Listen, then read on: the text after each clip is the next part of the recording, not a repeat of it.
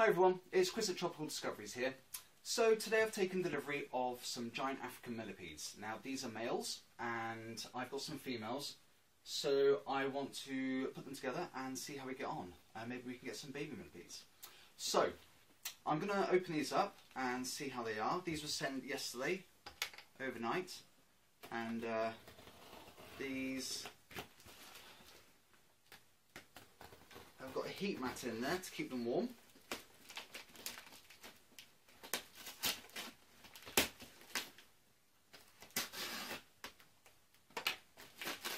Okay, so well packaged.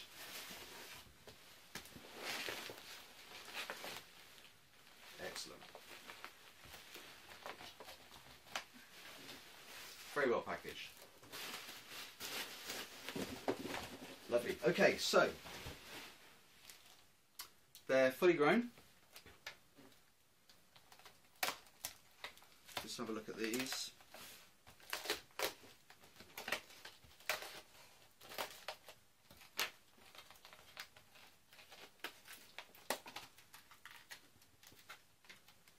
And they're condition. Check this one out.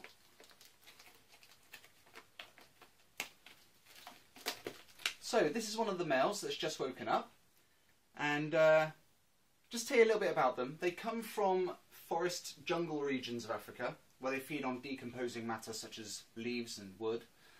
Um, and what they'll do is they'll uh, they'll sort of recycle all the decomposing matter, which is a very important part of the ecosystem.